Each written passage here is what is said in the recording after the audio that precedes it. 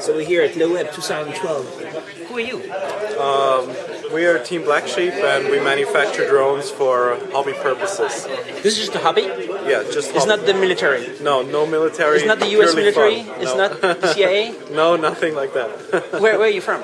Switzerland. Switzerland. Yeah. So Swiss drones, Exactly. Yeah. but just hobby. Just for hobby. So- We're neutral, so How, how big is your company? um, it's five people, and we develop um, quadrocopters and flying wings. So this is your design. You have a hero. What's going Yes. on here? Yeah. we- I mean, we- we're not big enough yet to make everything ourselves, but we just basically assemble commercial off-the-shelf components together with specialized UAV equipment, What is a UAV? unmanned aerial vehicle. So specialized. Uh, what? Which part do you make? Which part do you buy? Which? How do you put stuff together? Uh, we make the video link, which goes up to 50 miles. nice. So uh, and and we make uh, like the motors, the, the these plates here, the shape of the of the wing. Um, most of the equipment inside is done by us. And uh, what is this? This is a GPS with a compass. It will help the quad stabilize uh, in the air. Nice. And uh, what goes on here? Uh, this is the uplink, so the remote control uplink.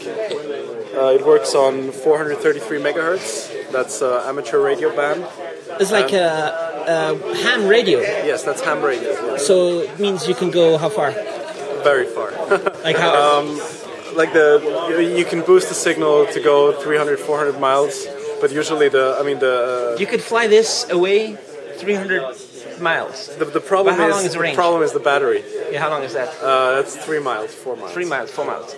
That's kind of like a mountain. Yeah, exactly. That's what we Yeah? do this for. Uh, we come from Switzerland, so uh, we have a lot of mountains in our backyard. Does it work? You just throw it on the mountain and it just goes out? You just you just fly it up there. You have the live link in, in your video goggles. What is this?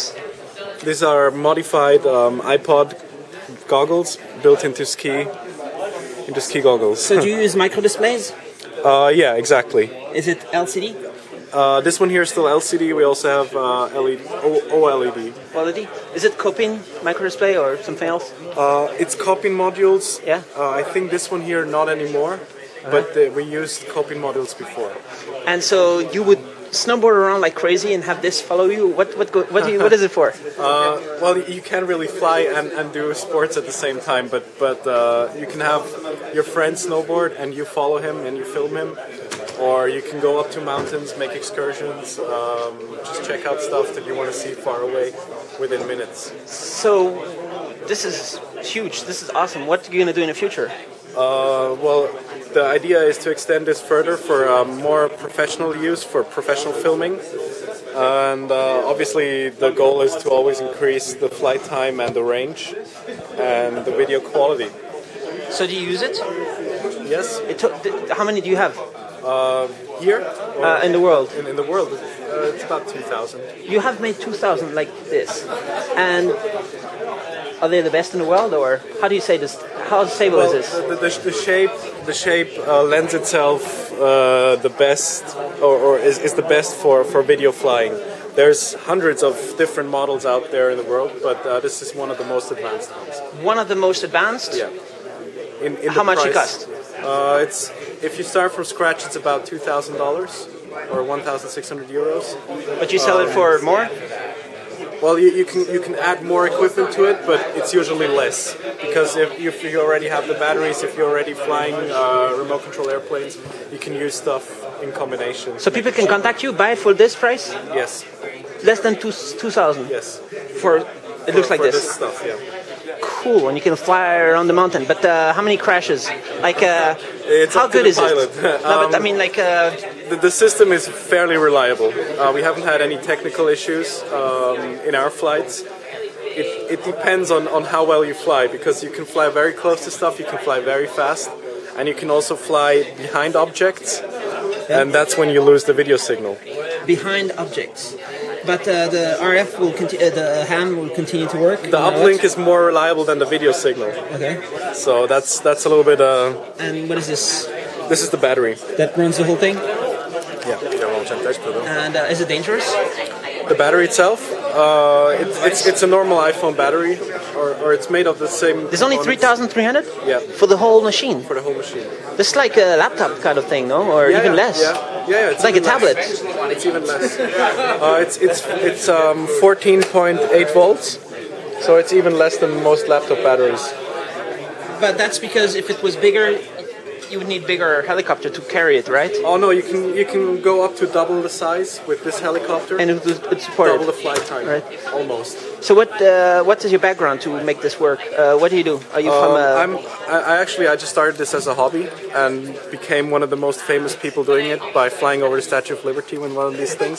nice? So when was that? uh, that was two two years ago. Two years ago. Yes.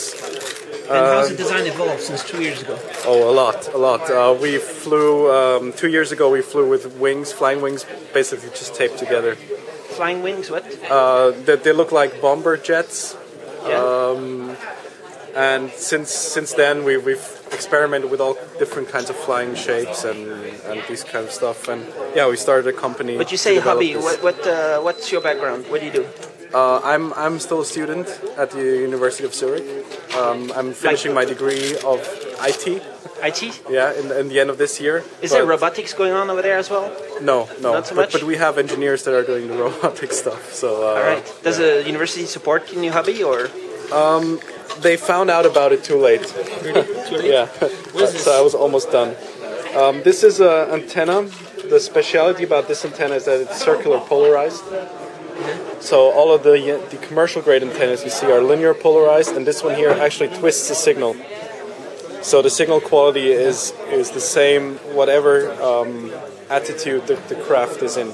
And that's video, right? That's for video, yeah. And what is this? This is the remote control. So, How do you make this? Uh, is it special? Something special about this? oh no, this is just a standard remote Standard control. uh, yeah. RF, but ham. yeah, the, the, this is the ham module. So at you the added back. this? Yeah. And this is based on what technology? This is uh, simple RF chips. Um, I'm, I'm not really sure what the brand is inside. Um, but this is actually made by a different company. And, and you just grab the signal from the transmitter and then divert it into the ham. But it's, Frequency. it's, it's not safe to use it indoor, is it? Yes, sure. Oh, you could. Uh, I, I can. You, want to see a Yeah. flight? I've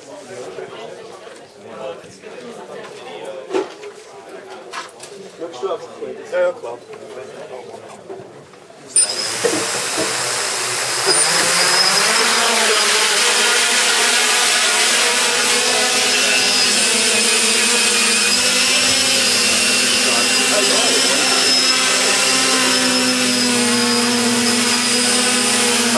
from the Raphael.